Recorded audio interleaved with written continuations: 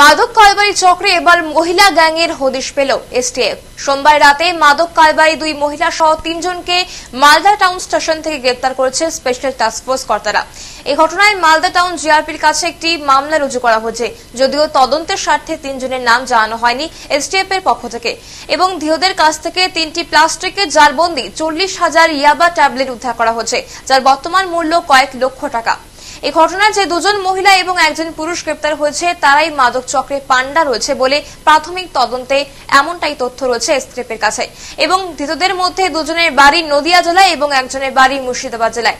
Malda town station GRP এবং একটি সূত্র মারফত জানা গিয়েছে যে এত বিপুল পরিমাণ ইয়াবা ট্যাবলেট মালদা থেকে সীমান্তের উপরে পাচার করার পরিকল্পনা ছিল ধৃত মাদক পাচারকারীদের।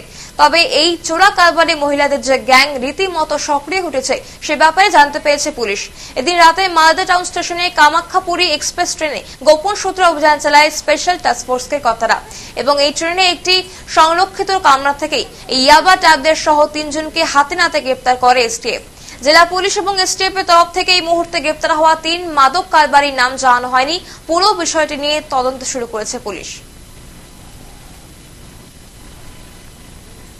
কোচবিহার মিশন হাসপাতাল। এখন আর হায়দ্রাবাদ নয়।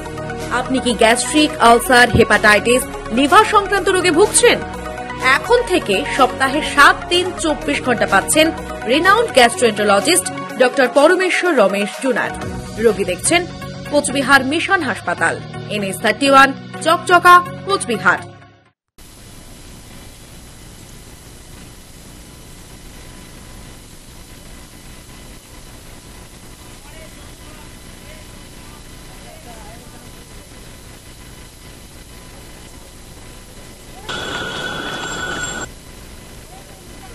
এদিকে আসো?